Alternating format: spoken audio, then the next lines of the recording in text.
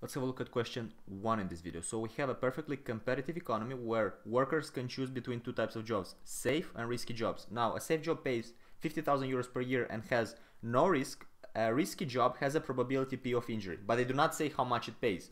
So the utility function of the worker is W plus G, where W is the salary and G is the health of the worker. Now, when the worker gets injured, like in the case of the risky job, his health loses 100,000 euros, meaning he probably has to pay in, uh, you know, medical costs and all that. Now, when he's not injured, he pays nothing uh, in terms of these costs. In part A, what would be the wage that firms must offer to attract the workers for a risky job? So we saw that a risky job has a probability of injury and that probability could lead to a loss of minus 100,000 euros, but we do not know what is the wage in that job. So we want to find out. Now, when would we attract a worker for a risky job? Remember, worker makes decision for himself. So he would decide based on his own utility. And because we have a probability, we're dealing with uncertainty, it means we're dealing with expected utility.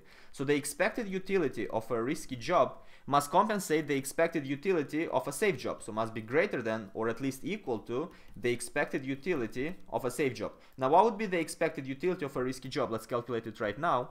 Remember we have a wage because we have to deal with the utility function. We have a certain wage which we do not know, we want to find it out. Plus we have a probability, right? Let's call that probability P, it's actually given to us. We have a probability P that we might lose 100,000 euros. So with the probability P, with the probability P, we are losing 100,000 euros, so minus 100,000 euros from our utility. Now with the remaining probability, we lose nothing. So 1 minus P times 0 is just 0, so there's no need to write it. Now this would be the expected utility for a risky job. Let's see what would be the expected utility for a safe job.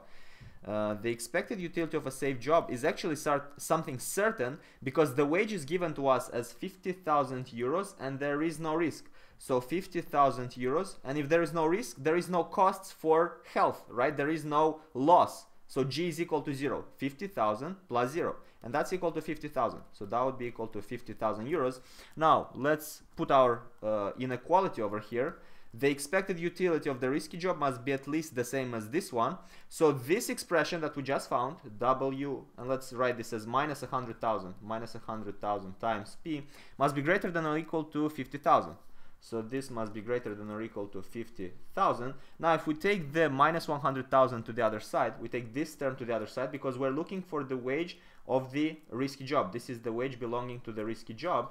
Then what would we get? We would get that the wage of the risky job must be greater than or equal to 50k plus the following 50,000 euros plus 100,000 multiplied with P. Now let's just quickly interpret this, what it means, because it makes sense. So the wage must be at least 50,000. It must be at least the same as the safe job plus something. What is this plus something? This is the risk premium. This is the risk premium because the, the job is risky. So we obviously require more money for doing it. That is the intuition over here. Hope this makes sense. In the next video, we go to part B.